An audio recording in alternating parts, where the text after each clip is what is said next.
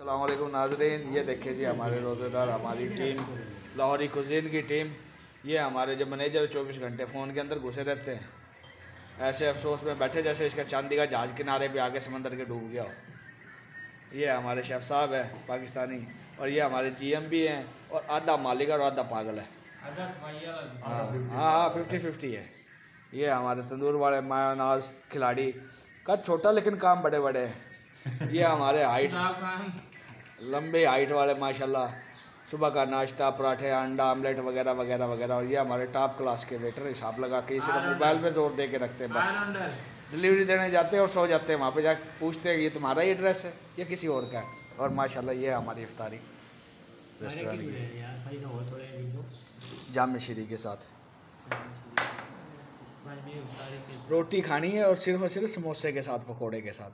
सालन नहीं है इसमें। अभी हमारे जो सीनियर शेफ है ना वो नीचे अभी वो आने वाले हैं। उनको आप देखोगे परेशान हो जाओगे। नहीं शेफ इज़ वो स्पेशली हमने मंगाया कोरिया से। शू शेफ है कोरिया से। जब वो खाना खाता है ना माशाल्लाह किसी की तरफ़ नहीं देखता सिर्फ़ प्लेट की तरफ़ देखता है। शू शेफ ठंडे हो रहा